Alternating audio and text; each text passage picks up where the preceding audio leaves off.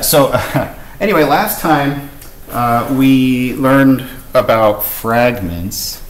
And you know, fragments are tough, right? It took me a whole lecture of cutting and pasting and editing to get that to work. But you know, you you get something pretty powerful, right? When you when you use fragments, um, you get these recomposable units of UI that you can interact with. But I, you know, I want to contrast that against kind of what we're going to do today, which is we're going to learn how to do a little bit smaller scale um, dynamic user interface stuff. So I think what I want to say about fragments is you not only get sort of a, a look, you get a UI with the different, the different widgets and layout and stuff, but it also responds to events. It has behavior. So it's kind of a self-contained thing that kind of contains both of those sides.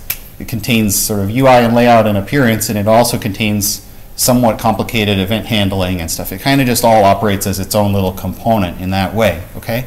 And by contrast, today I'm going to teach you what if you wanted to have like a little chunk of UI that you wanted to reuse, but it wasn't really quite enough of a thing to make a whole fragment for.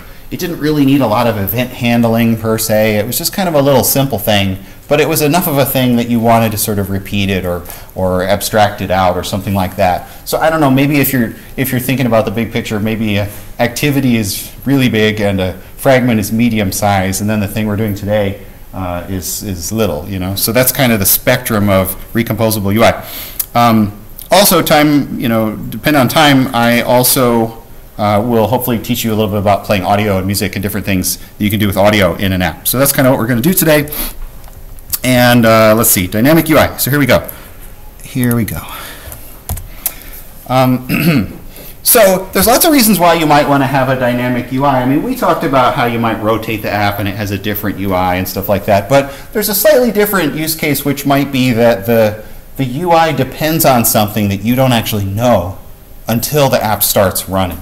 So maybe the, I mean, a really common example of this would be that the app grabs data from the internet or something, and then it displays that data. If you think about your Android Studio, you know, you haven't had a lot of things where you could specify a certain number of images or a certain number of buttons that you didn't know how many there were going to be until the app started up, right? You would just drag them and drop them, and that's how many you would always have. But you might want something more dynamic based on a data source or based on whatever. So yeah, you want dynamic UIs sometimes, right? Okay, well, in such a case, you might want to write Kotlin code that creates UI widgets or UI objects. And you can do that. I mean, one thing that I, I, don't know if I've actually really said in class before is that you actually can write an Android app with no XML if you really want to. No um, layout XML.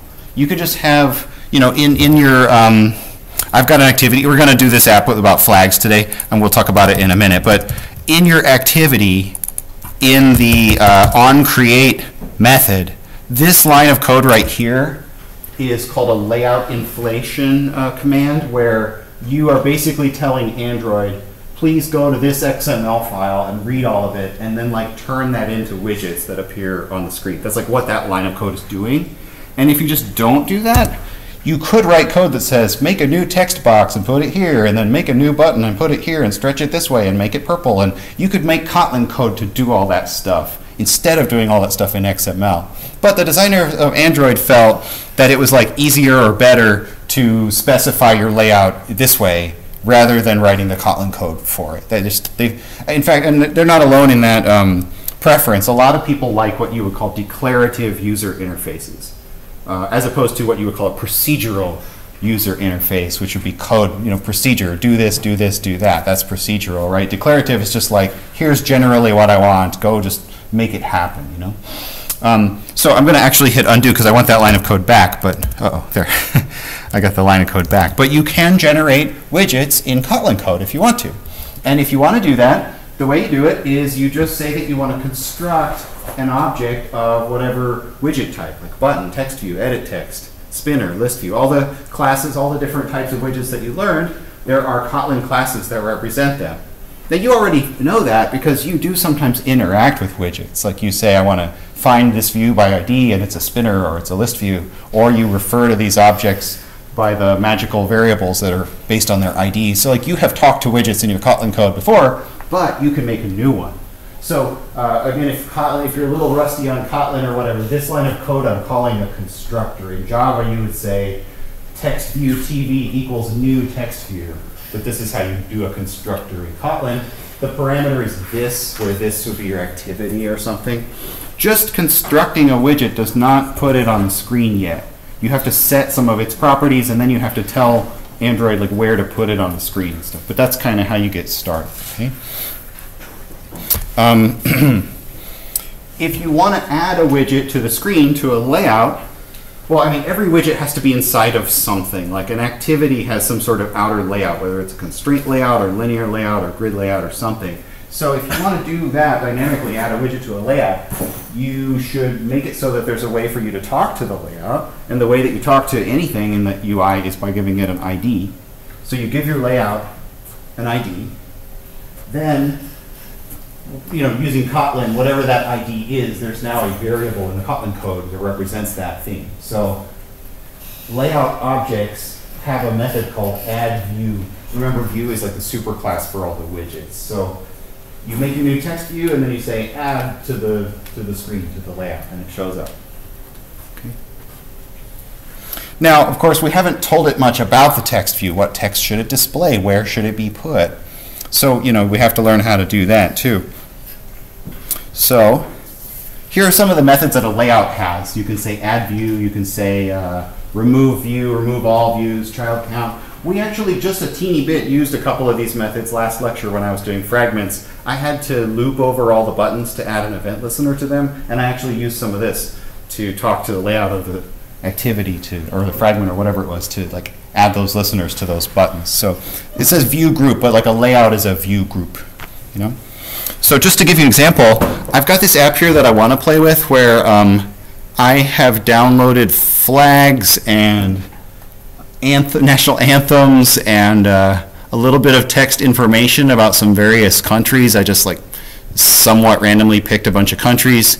And so I've got like, I, I, downloaded all of their national anthems this morning. I was using this like YouTube scraper to get all the national anthems, and so that's what I spend my time on. Um, but I also, I, I, downloaded like a little bit of text about each country from Wikipedia, and I got somewhere uh, drawable, I got like a picture of each country's flag and stuff. So I think this is, I don't really want to write a very cool app, but I just wanted to like make an app where there's just pictures of all the countries and you can click on the country and learn about it or something. This kind of something stupid like that, okay?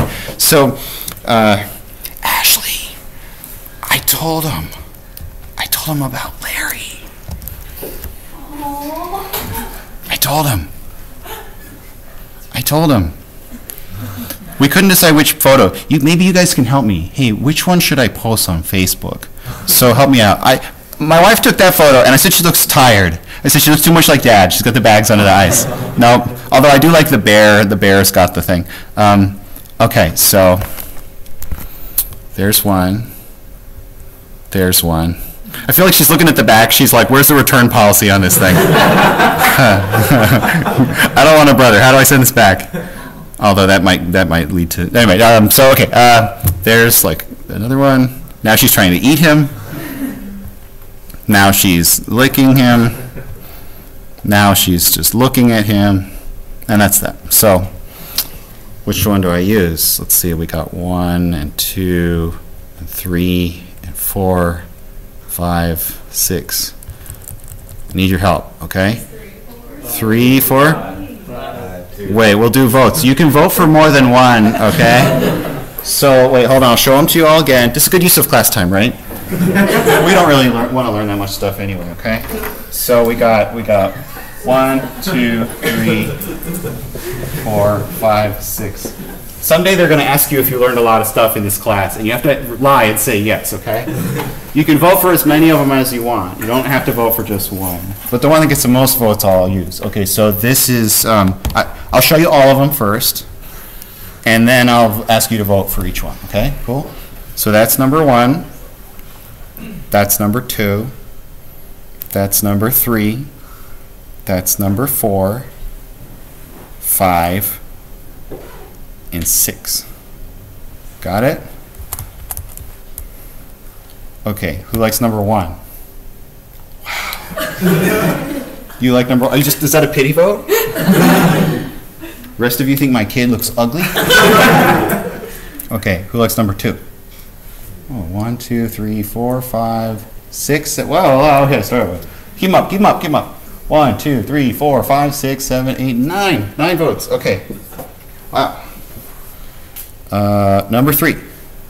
You can vote for more than one. Okay, one, two, three, four, five, six, seven, eight, nine, 10, 11, 12, 13, 14. Wow, that's pretty big. Okay, number four.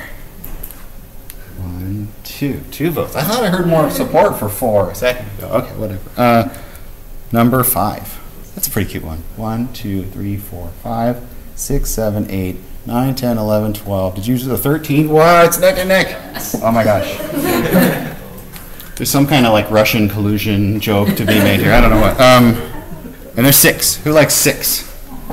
One, two, oh more. One, two, three, four, five. Hmm. So it looks like this one with maybe a. You can post more than one photo, right? So maybe I'll start with this as the primary photo. You do a runoff. Do a runoff. Yeah, runoff election between three and five. Okay, here's a real question.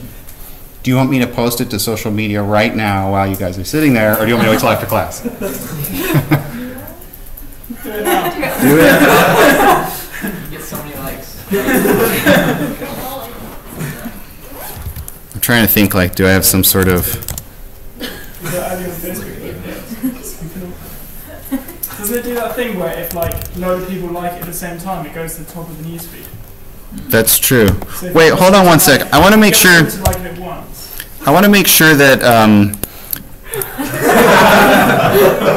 and that's why I'm not allowed in Bed Bath and Beyond ever again. Okay, so let's go back to the lecture. Um, sorry. Someday, someday you're going to fill out an evaluation of this class, and there's going to be a little rating bar that says like, instructor made good use of class time. And I want you all to lie and say, sure, sure he did. Um, okay, so like this app is about flags and countries and places you have visited. I don't know. It's just I just wanted some data to like put in there and stuff. And although the flags are all sort of fixed and I could just write them in or whatever, you could also imagine I'd add other countries or I'd visit other countries or also later we're going to learn how to connect to internet. Like I put all this data, I could put all this data on a web uh, you know, URL location, and I could connect to it and see what countries are located there that I could show. And so, you know, even though, like, I guess my point is part of the part of the goal here would be for it to be dynamic and adjustable, and run it tomorrow, and it has different result than if you ran it today. And that won't really be the case because I am just reading a fixed data set from my hard drive here. But like, I think it easily extrapolates to where it would be able to adapt to a, uh, dynamic, you know, set. So kind of work with me on that. So what I kind of want to do is like for each of these countries, I want to add a little bit of UI about that country. Okay. So maybe just to practice like adding any sort of UI at all, um, you know, I talked about in the slides here how you create a widget object of some kind. Uh, actually, this is the slide I want. You create a widget object of some kind, you set some of its properties, and then you add it to your layout on the screen. Now, what I already have, you know, last time I brought in a lot of code to start with. You know, I kind of had a bunch of code already written. This time I don't really. I have the data files, but I haven't written a lot of code. So, like over here, I have a, a, a layout. I set it to use a grid layout because I thought that would work well for a grid of like maybe two or three rows or columns of flags. So if you're going to talk to this grid layout and you're going to add widgets to this layout, what, what do I need to add in here to the XML before I can do that? I need to have an ID, right? So ID equals, uh, I don't know, I'll call it grid of flags, right? So now over here, if I wanted to add something to the screen, you know, you would do it maybe in onCreate. It depends when you want to do it. Like in this case, maybe I already have the data. So when the activity loads up, I want to I want to add this stuff to the screen. It might be in some other app you have to connect to the internet and when the data arrives, then you add the UI to the screen. So like where do you do this depends on what you're doing. But like maybe I do something like, you know, text view or val TV equals a text view. You say this. And then you might say, um, what do we call it? We called it uh, grid of flags. So if I say grid of flags dot add view TV.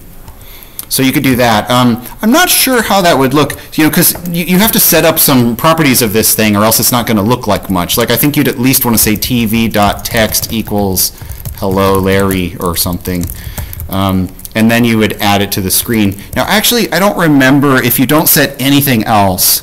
I don't actually remember what it will look like. I think it defaults to be up in the top left at the position zero zero, or it might not even, I, I'm not sure like where or if we'll see it, if that's like always set. But maybe I'll just run it real quick to see if we see anything. Meanwhile, I'll check my social. Oh, 40 likes, awesome, cool. There we go. By the way, I'm such a cheeseball, I always like my own posts, you know? like, bump it up one more. Yeah, okay, whatever. Here you go, Tony. Um, so it's still, it's still compiling. I didn't waste your time, it was compiling anyway. Um, so it's there, it says hello Larry, right? So it's not in the XML, it's only in the Kotlin code, it appeared on the screen. Of course, if I want to move it around and center it, whatever, like that's a little different. Um, okay, so let's go a little further with this. So I want to try to build you a mental mapping between like what you would do in XML and what you would do in equivalent Kotlin code. So like in the XML, if you want to say ID equals this, or text equals that, or size equals that, a lot of those properties, there's just a corresponding field or property in the Kotlin that you can set that has either the exact same name or maybe a very similar name. So if you want to set the Android colon text, you don't write Android colon text, you just write text. By the way, if you're not sure, like, like why do they say Android colon? There's sometimes these prefixes that say colon. It's called an XML namespace. Um, it's just some dumb thing about XML syntax, basically. So if you want to set the text, you just write dot text equals. I did that already. If you want to say text size or text style, a lot of these things you can just set. And if you're not sure what they're called, I mean, you can actually look up the uh, documentation. If you look up the Google for like, um, you know, Android, Kotlin, text view API, I'm pretty sure the first hit will be, uh, you have to be careful because you want the one that says Kotlin, otherwise it shows you the Java one. They're pretty similar, but you want to look at the Kotlin one. So if you just like scroll through here and stuff, you can see what, what there is available. But even if you don't want to read all that, you can just do the kind of simpler one where you just say TV dot and you just kind of scroll through and see the stuff that pops up, you know, like if I, well, I want the size, size, oh, text size, okay, sure, equals 30. You know, you can, you can often discover these things, and I'm not going to give you some slides with every single one of these properties. I sort of figure you guys will look up the ones you want to find. Um, anyway, you can set these various properties. I think one thing that's a little confusing sometimes is like, you know, sometimes you try to set, like it says text size equals 30, it doesn't work, and you go, well, does not conform to the specified type float. So, okay, it doesn't want an int, it wants a float. So if you said like 30.0, that doesn't work either because it's a double. So I think you can say 30f is a float literal, or you can say as float, or what, I don't know. Like sometimes the, sometimes it's like not completely straightforward how to set these things, but like you could, you can Google it, you can kind of figure it out, you know? And then if I reran this, the text would be bigger, you know? Okay, that's not so hard. Uh, where am I? Here. Now, some of the properties are a little less straightforward, and that would be the ones that are about layout and position and some of that kind of stuff, like size and shape of the widget. And so I guess the rule of thumb is if the property would have said like layout or constraint or something like that, then those properties are usually set in a different way. It's kind of dumb, to be really honest with you. You have to make this object called a layout params object, you have to pass the width and height of it, and then you could set additional properties of it, and then you have to tell the widget to use these layout params. I don't like it. That's what you have to do, basically. So an example of some of the stuff you do for layout params would be like, um, if you're doing a linear layout, we learned about these things like you could have gravity and you could have weight, and it allows you to stretch and align and this kind of stuff. And you know, I'm not going to review or rehash all that stuff here, but like you can say, make the layout params and set the weight to this and set the gravity to that, and, and that allows you to kind of set up the widget the way that you want. And you might say, well, I don't know, how do I, how do I find this? How do I do this? Hey, I really think the way that you, you learn this is you just sort of Google, like, how do I create a new button and add it to the center in the Kotlin code or do it dynamically, and then you find some good examples of how to do that. Um, Okay, so that's all fine. I think what you would find though is that um, it's not that bad to do this stuff if you're just sort of making one widget and just sort of putting it on the screen. That's, that's okay, that's fine. But it's pretty tedious if you're making four or 10 or some larger number of widgets. That's pretty tedious. And so I kind of don't want to do it that way. In fact, that's part of the reason why they don't have you declare your UI as Kotlin code in the first place, because it just gets to be a lot of code. It just gets messy, you know? So let's, let's not. Um, oh, I got a little bit more slide here. Like if you have a constraint layout, you can set the, you can constrain the edges to other edges. I, I don't think I want to look at all that unless we really need it. I come back to it. But let's see, let's see. Where do I want to get to? I want to, I want to talk about this. If you have multiple widgets, like let's say you want to use dynamic code to generate something on the screen, but the thing that you're making is a little more complicated. It's a little button and a box and a checkbox. It's got like three or four little pieces to it. You might not really want to do it by writing Kotlin code, like I just said, because it would get kind of long and bloated and ugly. So what you might want to do instead is you can make a small layout file that just describes that little piece of UI. And then you can tell the Kotlin to read that XML file and inflate it and turn it into Kotlin object widgets for you. So you're sort of doing manually what the activity does as a whole right here.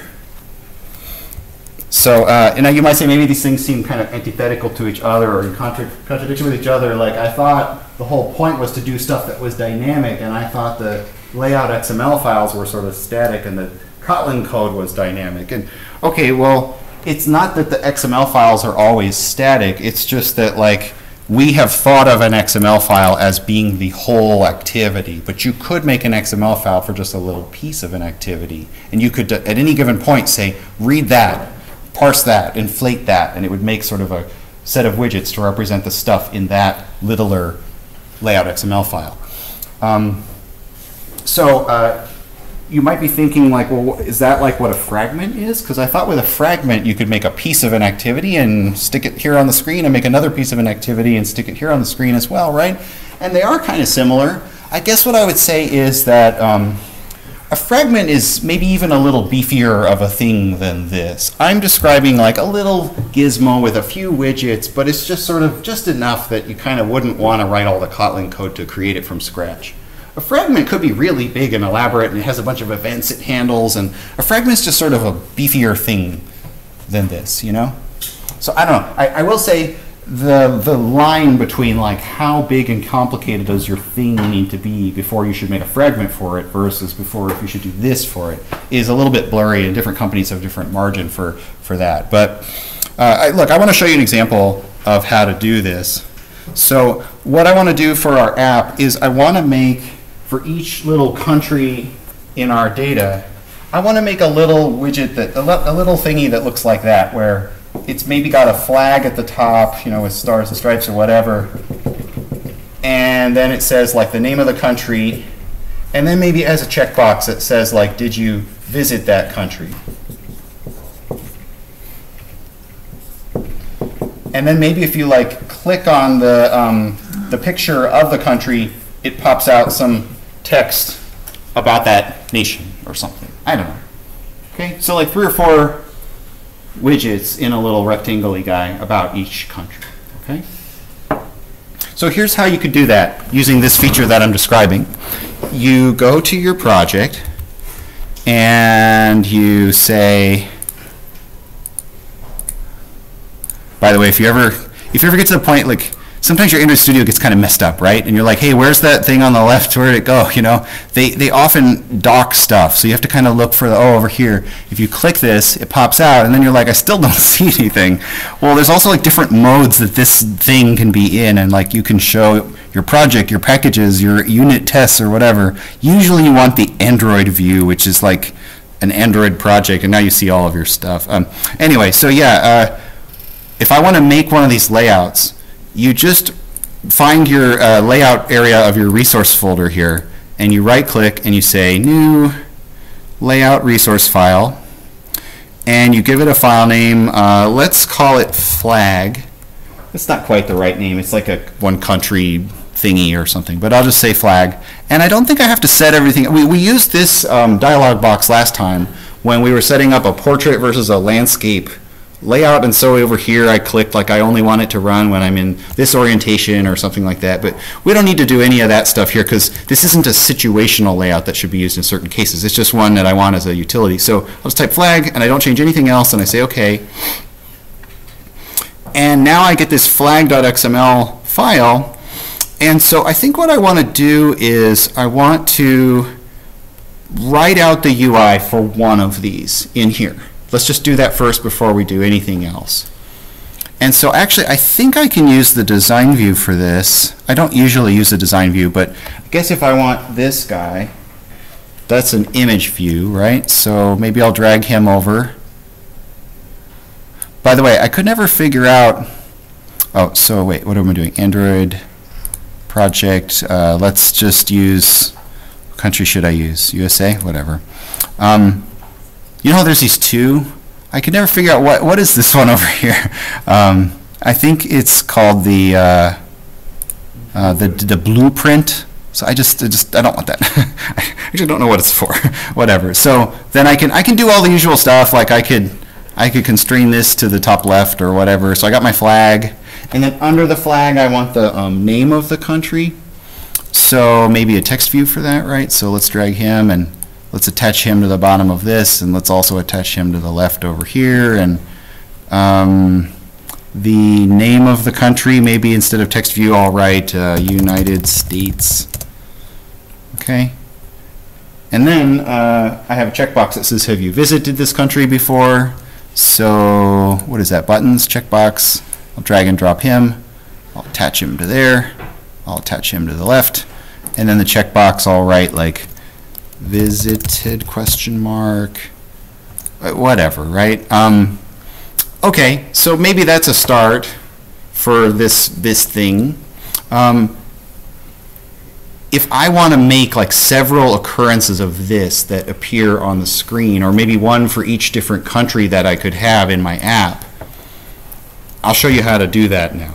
Like, just to be clear, if I ran my program right now, you wouldn't see that appear on the screen anywhere because like this activity doesn't use that as its layout. This activity uses this as its layout, which is a grid with nothing in it. So actually, you wouldn't see a flag or whether that stuff I was just drawing and dragging and dropping, that would not appear on the screen yet anywhere, okay? Let me show you how we've got the left part, we've got the layout XML. Let's learn how to inflate it to make widgets. It says Java, it should say Kotlin widgets. Um, so if you're in your activity, you can say layout inflator dot inflate.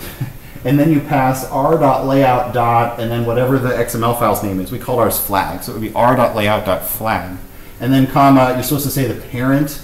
Um, the parent is like if you want to pass in where you want to add that thing to on the screen. You can also pass null, in which case it won't add it to the screen yet, and you can add it yourself by calling the add view method. That's what I do more commonly, but Anyway, that's how to like inflate something. If you're not in an activity, like if you're in a fragment or if you're in some other piece of code, you have to say this slightly differently in terms of how do you inflate something. But today in our example, we're going to be using this first syntax because we're inside of an activity here, okay? So let me show you. Let me show you. In the um, code for the flags activity, I'm going to get rid of this like text view. I don't need that, right? So I'm going to say uh, Uh, val flag equals layout inflator dot inflate and I'll pass r dot layout dot flag. Again, it's called that because the file is flag.xml. If it was r.layout.marty, it would be marty.xml. You get the idea, right?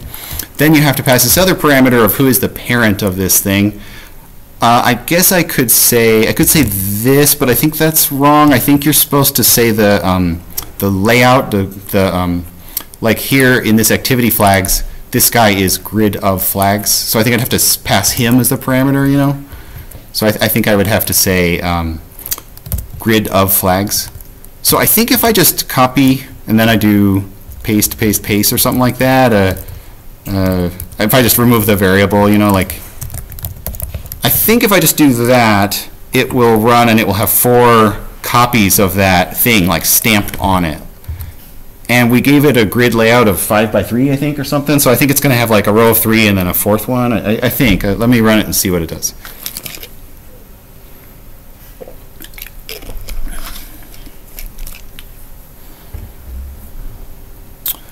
Uh, oh, well, we've got one. we've only got one. I added four, but I only see one. Um, maybe it's good to talk about this. Like, do you have any idea why I only see one of the four? Any guesses? I mean, what do you think? Yeah. Is it that, um, the flag XML is an entire, like, screen word, so they're all just stacked on top of each other? That's yeah. I think you're basically on the right track. Um, you also had your hand up. Were you going to say the same thing or something different? Yeah, I was going to say they seem to be, yeah, but they just be overlapping each other. Yeah, I think what's happening now. You have to understand, like, I'm not perfect at this stuff, right? So I sometimes like, what I think is going on, and I think you guys are both on the right track. Is like, I think this thing has been told that its size should like match the parent's size. Oops, what just happened? Wait, where where'd that go? What? They're all gone. Where did it go? oh, I think I clicked out of it. Okay, there. Um, the the size of it says match parent. I think maybe I want to say wrap content. Do you see how he got smaller? So like I think the problem was there were there were multiple ones of him, but they were each asking to take up the whole screen, and so there's just not enough screen space for them all, and one of them pushed the other ones out or something like that, right? So I think if I run it again, now that they're willing to just wrap their content in size, I think this will look better. I hope. Let's see.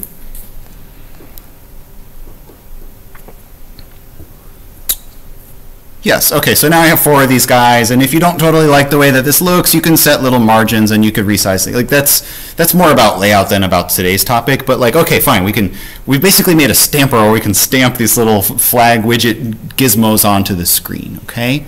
And again, I hope it's clear like why I didn't use a fragment for this because like you saw fragments are a lot of work, a lot of bulk, a lot of code, a lot of files it's like an investment if you want to do fragments. And so if we're just doing this much repeated UI, maybe we don't want to do that fragment stuff, okay?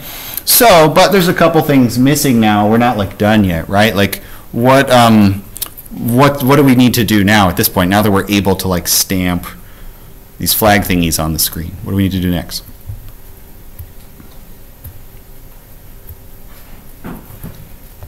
Check how many likes we have. Did you eat my Skittles? Never mind, I found them. Prego rage averted.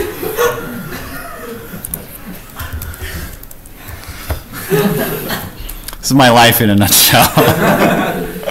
Did you eat my Skittles? Never mind, I found them. Um, yeah. So, uh, what's next? What do we need to do next? Yeah. We need to put different flags on the screen. Yeah, make it show all the like different. I don't want a bunch of USA flags. I want the Australia flag and the China flag and the, all the different countries, right? So, I think what I want to do here is um, I want to. I don't want this four times. I basically want this, but once for each of the countries that we are dealing with, right? So you could imagine like I have this thing up here, which is a list of countries. Um, so I could say like for each country in con- countries. I want to do something like that or something. But but like then I have to. I don't want it to be the USA one. I want to I want to change the you know the first one to be Australia and the second one to be Brazil. Like I, I want to start with this and then I want to adjust it to be the right one for each country. Right? Understand? So. if that's the case, like how do you think I do that? I mean, I haven't shown you yet, but like let's just like use intuition here for a second. This is going to make me 16 American flag stampers. So like how do I make it so that some of them have other flags on them? What do you think I need to do?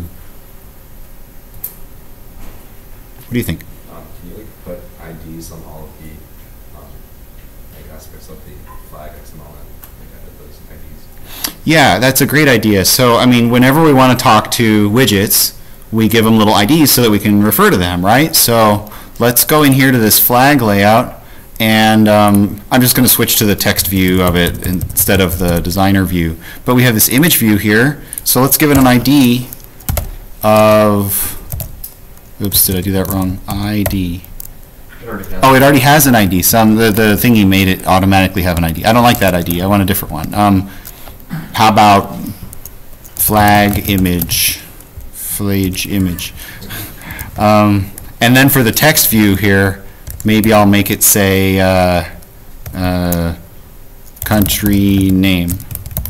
And then I think these are breaking because it's like referring to the IDs, the old IDs down here. So I think should be flag image. Okay, fine. Yeah, and then the third one is the, the checkbox for whether I have visited it before.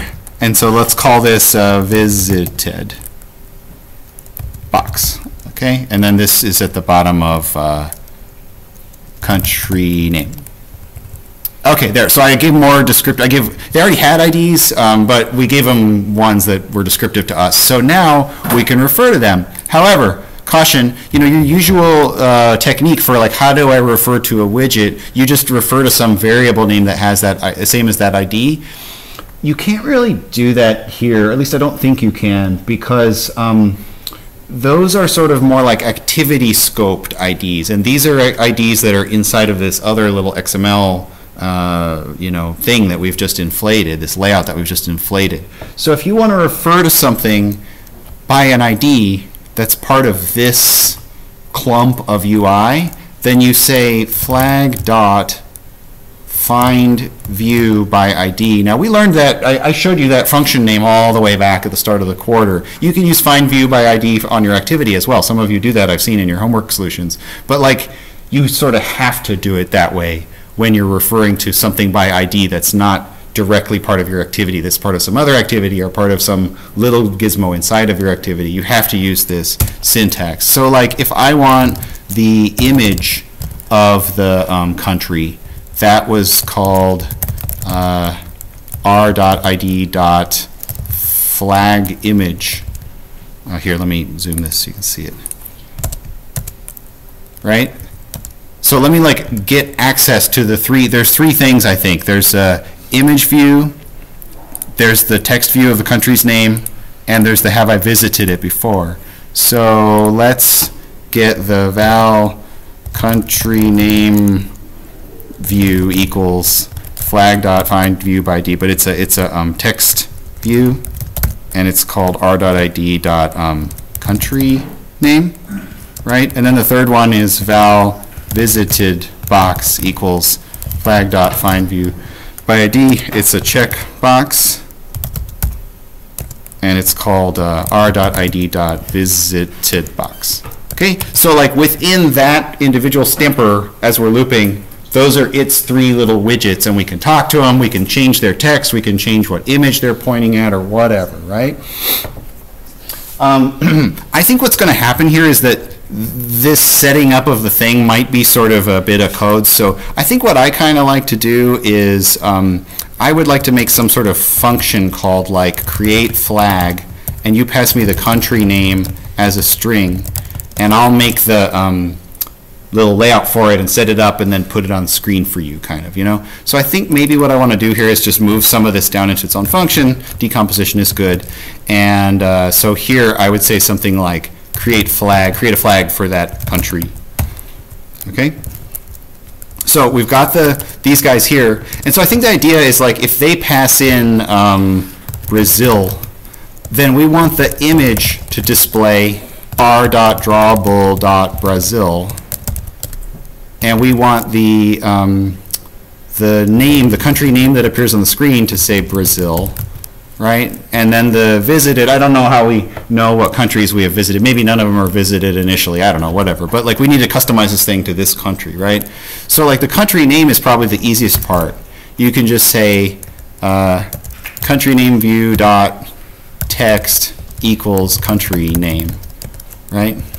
The image is a little trickier it's basically like how do I turn the string Brazil into the ID of r.drawable.brazil? Because you can't be like image.set image file to be country name plus dot gif. Like you can't, that doesn't work. That's not how it works. You have to pass an ID, not a file name or whatever.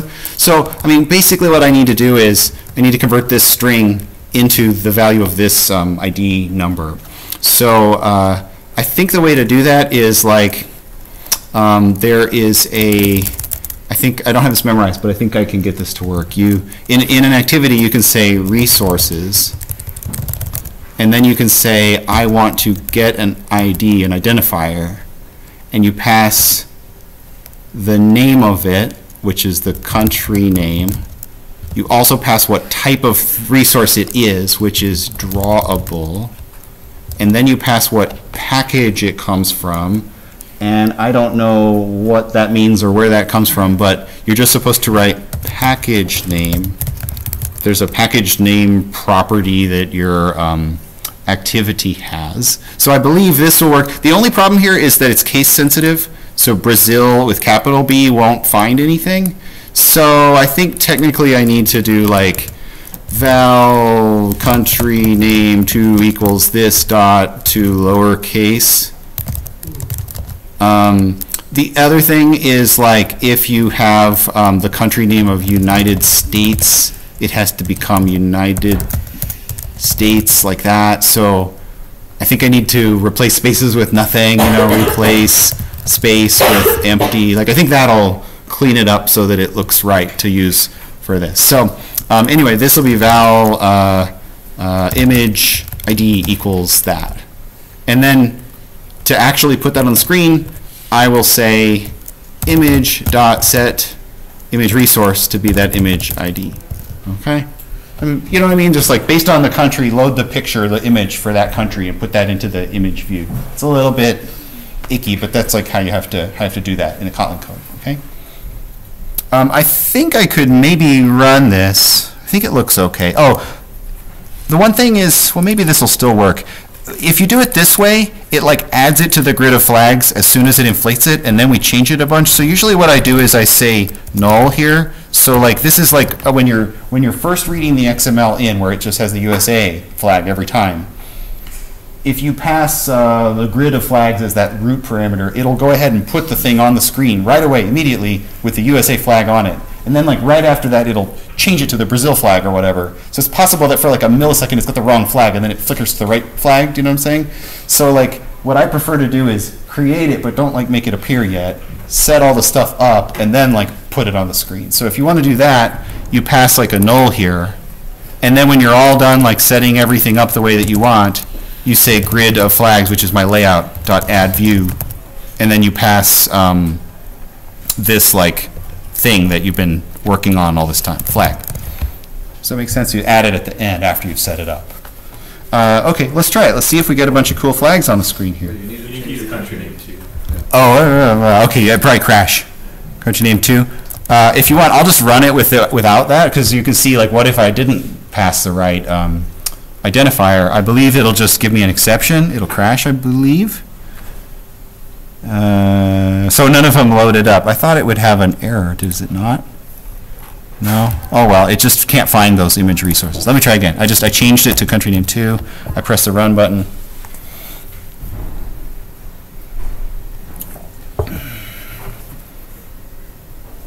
I remember, hey, there we go. Cool. We got a lot of countries here. I remember in ancient times when I was a college student, it drive me crazy when I watch the professor teaching and coding, and he's like typing his code, and he's written like 50 lines, and the third line has a bug in it, and it's just like there for 20 minutes, and he doesn't see it, and I'm like, ah, you have a bug on line three, and I just wanted to like run up there and push him away and start typing for him. Um, yeah. Okay. So we got countries. This is great, right? So that's kind of the meat of it is you can make these XML files and you can inflate them and then they appear on the screen. And you know like this goes hand in hand with like if you have different data that comes in at different times you can use this same technique to like read that file or read that URL or whatever. And for each URL for each file for each line for each image put a little thing on the screen. Now um, okay the one thing though is that these don't do anything. Like if I tap on these you know it doesn't there's no like event handling. I mean there is a checkbox but it doesn't really do anything when I click on this stuff, right? So sometimes when you have these little stamped custom UIs like this, you do sometimes want to add some kind of event interaction on them. Now, if you find that your little stamped thing has like 20 different events it's responding to, that starts to feel like maybe it's a fragment. I don't know, like you, you have to decide the threshold here. But if you have maybe like one or two events you're going to respond to, we can work that out. Let's make it so that when you tap on the flag of a country, it will pop up some information about that country. Okay? So how do you think we do that? I mean, I didn't teach you yet, but like, do you have a guess?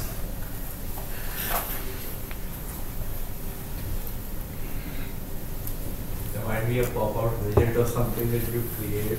A widget I can create? Well, so, okay, so just a clickable widget in general. This is an image view.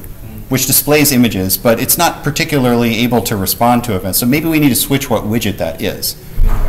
Image button would probably be better because that allows you to click on it, right? So what if I go and change this real fast? So instead of being an image view, it's an image button. Um, if you write on click equals on here, I don't think that works properly. We saw last time with fragments that on click in XML didn't work. You also have seen certain widget types like lists and spinners on click in XML doesn't work. I believe this is another case where you have to do it in a different way. You can't wire up the on click handler here yet. Um, okay, that's a good start. Image button. I think that's fine. I think the only other change I need to make the code is like here I said that this is an image view, so I think I need to say button. But other than that, I think I'm think I'm pretty good. Um, that will make it clickable, but it still doesn't like do anything when I click it, right? So what else? This is a good start. What do I need to do else otherwise to make it react to a click? What do you think? Yeah? Add a listener, yeah, just in the Kotlin code. So I have a variable called image here that refers to each of these image buttons, and you can attach listeners to these widgets in Kotlin code if you want to. So let's do that. So if I um, just here or somewhere, if I say image dot set on click listener, and we learn the syntax you just do like that, right? Um, with the um, list view and spinner listeners, you had like underscore, uh, you know, you had like four of these things and then an arrow and stuff, right? Those listeners take a lot of different parameters. The listener for clicks just takes one parameter, which is like what view, what widget got clicked on. So you could either say view like with an arrow like that's the parameter, or the syntax for these lambdas, if they take one parameter, you can just not declare it, and it will be implicitly be declared to be called it. so, like, um, we have an on-click listener, maybe it just pops up a toast, toast dot make text this comma you clicked. Dollar sign country name. Toast dot uh, length short dot show. So, you know, just, just like pop up a toast when I click on a, um, a flag. So let's just test that real quick, see if it works.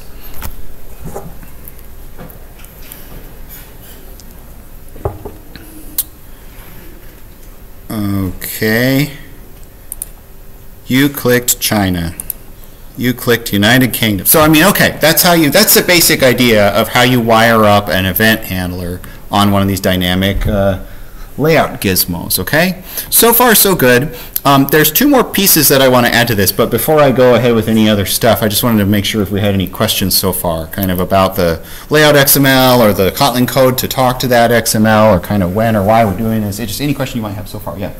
So it's got, it, you know, kind of put like a border around all of the flags to make it look, like a button. Is that, can you get rid of that? And just be the Uh, yeah, I think so. I mean, I don't remember how off the top of my head. Like, there's some setting for this button. You could even set it in the XML. I think there's it's some sort of like opacity or button type or visibility. I, I've googled it before, but like basically just Google for like image button hide gray background. I don't remember. Do you want me to try to look it up while we're talking? Right now? I'll spend 10 seconds trying to find out. Android image button hide gray background. Uh, any way to remove the gray background from image buttons? Yes, please. Uh, set background drawable, null. Um, oh, you can also do this. So, uh, yeah, one of these two. I've done this before. It's it's one of these things where, like, some once upon a time, I did that. Uh, there. I think it's. Do you see that? I think it's no longer. It's no longer going to show that. So, anyway, I think next time we run it, I won't rerun it yet, but the next time I think it'll it'll be missing. Yeah. Any other questions? Yeah. So when you inflate it, but you don't add it to like the thing, where does it go? Like where does it sit? Or is it anywhere? Yeah, if a if a tree falls down in the woods and no one hears it or something, yeah, um, does it make a sound? So yeah, if you just create a widget or if you just inflate a layout in the Kotlin code, but you never add it to any container or view group or activity or layout or anything like that, then it just will never show up on the screen. And essentially, it'll just be waste of memory. And when you get to the end of your function or whatever, Kotlin will sort of notice that these widget objects are not attached to anything, and I think the garbage collection will just kind of throw them away. So the net effect will be that nothing shows up and you don't see anything. Or there's basically no no effect if you don't add them to the screen somewhere. Different UI frameworks have different logic about this sort of stuff. Like uh, if you code a GUI in C++, there's a framework called Qt. And in Qt, if you create a widget and you don't say that you want to add it somewhere, it just picks the last window that you made and it puts it there. so like some widget libraries are like, you built it, I'm going to put it on the screen somewhere. And other widget libraries are like, hey, you tell me when you want to add it and then I'll add it for you. Otherwise, I won't put it anywhere. So that's the way this one chooses to work. Any other questions so far? Yeah. I didn't get how do you, you know, like get all the specific details about the countries So there's this flag and it's like all the information. Oh, oh, oh. So how do I how do I get these pictures and where does that come from? Well, um, I might have just raced past it a little bit, but in my project, in the res in the res folder in Drawable, I have a bunch of images of all the um, countries, and I carefully named them the same as I have this array of strings of all the country names. So I loop over that array, and then like if the country is you know Ghana, I tell it to load r.drawable.ghana, and then the, those names here kind of correspond to those file names in the res folder. There's a command called um, uh, resource get identifier. So I look up the ID for r.drawable.ghana based on that string. So, oh, Marty, one more thing. So, gee, so this is like a search function you were using in Kotlin, right? A search? Searching through all the folders. Well, so what I'm not doing, yeah, I mean, what, what you could imagine that might be a little better than this would be instead of having this constant array of countries, I would just say, hey, uh, go look in the drawable folder, and for each file in the drawable folder, put a, a you know flag for that one. But actually, that's pretty hard to do. Um, the internal resources that are packed into your project, there's not like a super easy way to do a for loop over them. Um, so, I mean, you can, but it's like pretty icky, and I don't actually want to show you how to do it. And there, you might say, well, that's bad. Well, I, I want to do that. But I guess what I would say is, like, frankly, you don't usually have a giant set of resources baked into your app that you loop over. What you normally do is connect to some other data source, like a database or a website, query it for the data, and then loop over that. And you can loop over that with just a for loop or something. So, like, the part of this that's a little bit unrealistic is the, like, where did the data come from part. And like I just have to do this piece by piece. You know, like next week, week after that, I'll show you how to like do a web request to get the flags and draw the flags and stuff, basically. Right? Yeah, great. Any other questions so far? Okay. Um, well, let's do a couple things before we're done. We got a few more minutes. Um, when I click on the country, it just sort of goes, look, you clicked on China. Well, that's not that cool. Maybe we could make it do a little bit more than that. Um, so a couple things I'll do. Let me see how much time I have. Uh, I want to see if I can make it pop up a little dialog box. So I want to talk about dialog boxes for a second. Dialog boxes, I mean, I think they can be complicated, but I don't really want to show you the complicated part. I think mostly if you learn the sort of simple version of this, it's good enough for like 90% of your usage, and you can Google it the other times. So like, there's lots of different reasons why you might want to pop up a dialog box. It's almost like popping up another activity, except it's just like on top, and it doesn't cover the whole screen, and it maybe blurs the, the activity underneath it, and it's temporary. It's like a really quick message, and maybe you say yes or no, you interact with it a little, you click a choice or something, and then it goes away. You go back to the activity where you came from. So, you know, I want to show you how to pop up dialogues like this. And for what it's worth, you know, in terms of the like activity life cycle, like if this activity pops up this dialogue, the activity gets called uh, on pause and then this pops up. And then when you're done with this, the activity says on resume. So that's kind of the state the activity would be in. Um, so that's what a dialogue is, or you know why you would use it would be for some temporary thing. I mean, you could just pop up another activity and then ask the user the question or show them the message, and then when they're done, you could go back to the original activity. But that's considered more disruptive to the user. People like to be able to see that what they're working on is still there underneath. You know. So um, there's different types of dialogues that come with Android, and you can also make a custom dialogue that has whatever contents you want. I'm just not going to teach you most of this because I can't say I've ever ran into like a case where I needed some of these things. You know, like maybe sometimes you want to write a calendar app or something. Fine, okay, go Google how to do a time picker dialogue. Mostly I just either want to pop up a message like here's something that happened, or I want to ask them a quick question. Which of these two things do you want? Yes or no? Or here's three choices. Which one do you want? Like some quick input output kind of a thing, you know? So um, there's lots of different pieces of a dialogue. there's a message, it has a title, sometimes it has an icon. There are usually buttons of choices at the bottom. they have these funny names for them in Android. A lot of times a dialog will have like a yes or no or an okay and cancel. Like they call it the positive button and the negative button. And then sometimes they have a neutral button. And the reason for that is partly because, um, you know, there might be different languages, right? You don't want to call it the yes button and the no button. And they want to use a little bit more vague name for these things. But basically what I'm going to show you is you have to tell it to have a positive button so that you can just say okay to like close the thing. So I'll show you how to do that in a second. Um, so in yet another example of questionable design in the Android uh, ecosystem, if you want a dialogue, you don't just say pop up dialogue paren paren. No, it wouldn't be like that. That would be too easy. Instead, you have to make a dialogue builder object. And then you have to tell it a bunch of stuff. And then when you're done doing that, you ask the builder to build the dialogue. And then you have a dialogue that can show itself. Or actually, that's a typo. That should say Val dialogue. But um, there's probably some Bob the Builder. Isn't that his name, Bob the Builder joke here? But um, that's how you make a dialogue. Uh, this is actually, uh, in software development, this is actually called the builder pattern. And a lot of developers think this is a really elegant way to create and initialize some complicated object that needs a lot of settings or initialization flags before you can run it. So some people think it's really good design. I think it kind of blows, but whatever. Um, so if you want to make a dialogue, imagine if you're trying to pop up a dialogue that says uh, something about United States, like you clicked on United States. Let's try to make our, our app do that. Down here, where you say, um, uh, you clicked country name, you know, for the on-click listener, let's make that a little more interesting. Let's make a function called show country info, and you pass me the country name as a string. And so here, instead of toast, I'm going to say um, show country info about this country name. You know, so I just want to pull this out. It's its own function, right? Okay, so how do you show country info? Well, let's make a, a dialogue. So I could basically copy some of this stuff. Um, oops, I commented all of it. Why did it do that? And uh, so this is supposed to say val dialogue. So again, like what you're doing here is you create this builder guy, and then you call set, set, set, set, and you kind of set up all the different parameters that you want the dialogue to have.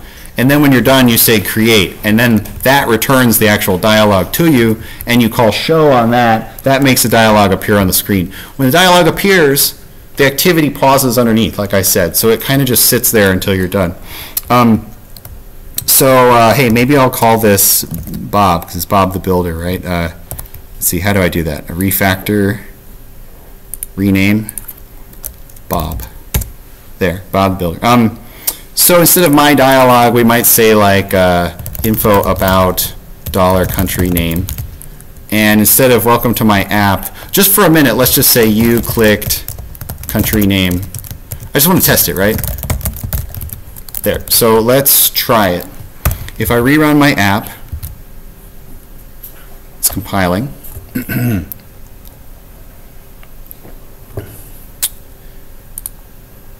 You click Germany. Wow, cool. What's missing?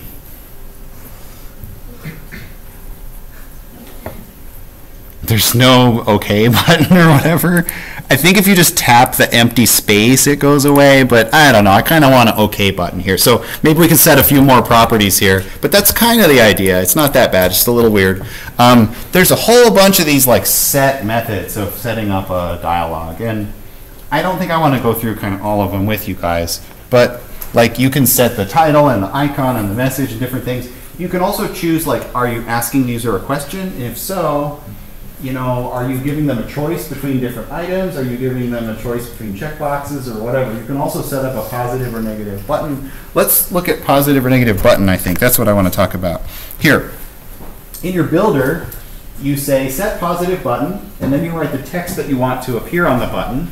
And then you write a set of curly braces that indicate the function, like the event handling function that you want to call when that button gets clicked. And the function takes two parameters, the dialog and the ID number of the button that got clicked on. So frankly, I don't need either of those parameters. So basically, I'm going to grab this and paste this here and say, uh, I don't need the dialog and the ID, Bob. I just, I just underscore them. So now this would be the code to close the dialog. I don't think I actually need to say that I need to close the dialog. I think it'll just do that for me. But if I want to do anything before I close the dialog, I can put the code there. Uh, let's just double check that to confirm. I told it to rerun the app.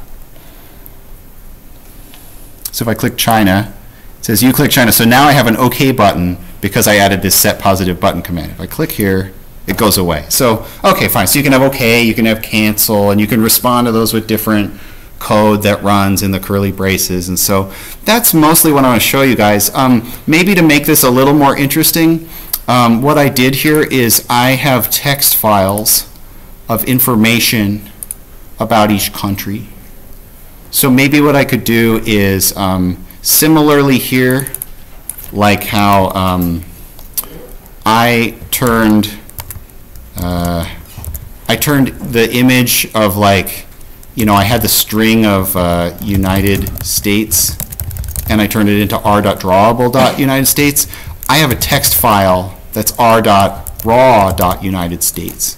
And that same sort of logic would just be that it's not a drawable resource, it's a raw resource, and it's not the image ID, it's the text file ID, okay? And if I want to read the entire contents of that file and put that up on the dialog box, you can say resources dot uh, open raw resource, the one that has that text file ID, get a buffered reader on it, and then I think there's a read read text method that reads all the text. So val file text equals that. So just like read all of that file in as a big string. That's what that does. So now instead of saying you clicked on China, I could display that file text as the like message of the dialog box. Okay? So we'll learn a little bit about the country. In particular, we will learn the contents of the first paragraph of the Wikipedia page about that country. Italy, officially the Italian Republic, a country in Europe, blah, blah, blah, blah. Okay, fine. You know, United Kingdom, officially blah, blah, blah, blah, blah. Cool, right? So like now I'm getting a little bit of stuff when I click on each one. If I kind of whiz through that, I've got like these text files. I'm basically just grabbing their contents out of them, right? Okay? So a question about that, yeah. If the like message in the in the dialog box is really really long, is it scrollable? I forget if it scrolls. Let me see if any of them are, are long enough. I thought it did. I don't remember if any of these messages are long enough. Okay, what I could do is, um, where's the United States one? Just put a bunch of copies. When I run it again in a second, we'll check if it scrolls, okay?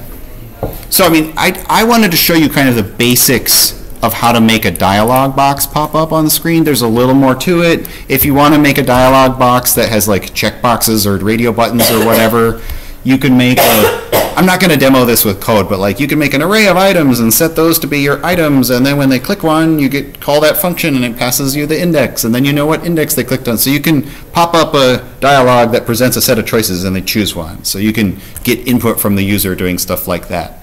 I'm not going to go through the rest of it because I think by far the most common thing I want is like an information message. You might say, how is this better than a toast?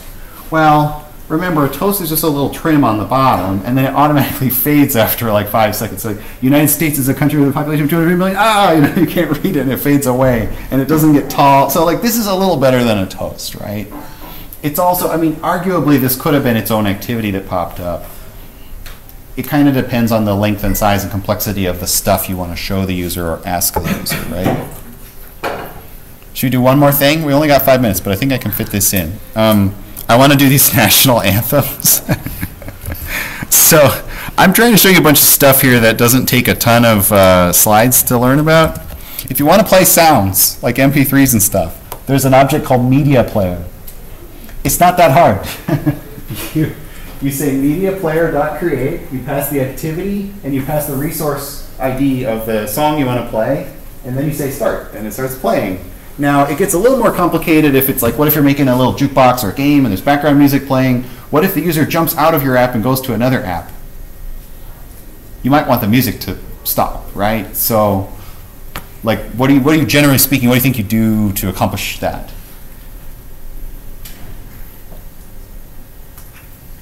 What do you think? Yeah. And you're, maybe you're on pause, Yeah, yeah, those life cycle methods. Like we didn't. I mean, I taught you about those methods, but I didn't like use them a lot. You know, but like you you say on pause or on stop, then I want my music player to stop as well, right? So just to like show you, I only got a couple minutes, but I just want to see if I can maybe get this to work. So again, I want the resource of the uh, raw file for the national anthem for that country. And so if I go back here, I've been doing stuff like this to get the ID of a resource. Maybe what I could do is um, I could also get, you know, from uh, from the string United States, uh, the anthem is called r.raw.united states underscore anthem. That's why I named the MP3s with that suffix, because um, they have to be unique without the extensions. But maybe if I said like MP3 file ID, that's equal to the country name with raw, but it's not the country name, it's like the country name to underscore anthem, you know what I mean? Like, that's the ID for the song. But does that not work? Oh, I think I have to say, uh, I have to put braces around it. I could put, I could concatenate as well. I think that'll do it. Um, so I get the anthem. If I want to play that as a song, I basically just have to do this part right here. So create a media player. Now it doesn't find it. I have to import it. I'll press Alt Enter. And now instead of saying r.raw.file name, I'll say mp3 file ID. Like that, I just looked up the file resource ID that I want to play. And uh, that's mostly it. Let me see if that works. Now I don't know if you guys will hear it that well, and I don't know if it'll come through on the video recording either. Let's try it. Want to hear some national anthems here? Uh-oh. Uh-oh. Uh, resource not found, ID 00. Uh, I wonder if I did this wrong. United States anthem. Wait, let me, um, plus. If I can't get it to work in just a second, I'll give up. But doesn't that look great? It's the country name 2, which is like the lowercase version, plus underscore anthem, and it's a raw resource. I think that looks right. Let's try again. Brazil. Is that the Brazilian anthem?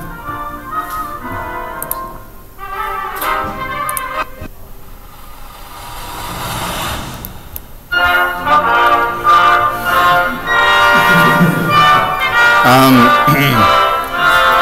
the uh, the uh, that's great and all. So I mean, I'm basically done. But like, what can be annoying is if you start a song playing and it's long and you never like keep track of it or whatever. What you might want to do is like when they click the positive button to like close the dialogue, maybe you would say media player dot stop.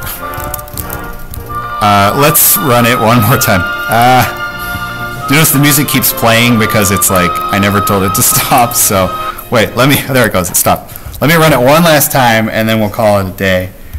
I will click it, and then I hope after I say OK to close the box, the music will shut off. Let's try uh, uh, China.